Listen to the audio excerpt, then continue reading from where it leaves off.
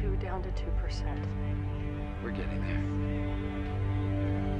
Beautiful, don't you think? I think it's unlikely you'll be able to get into an unethical situation on a first date.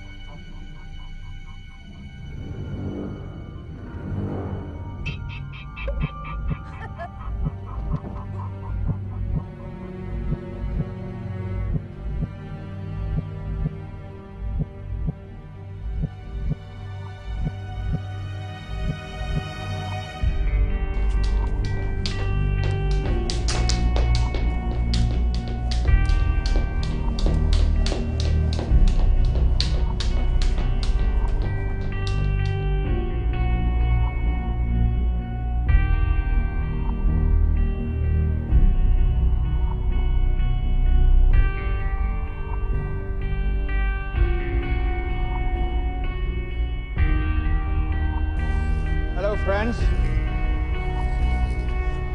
My name is Peter Whalen. I am your employer. Holmes!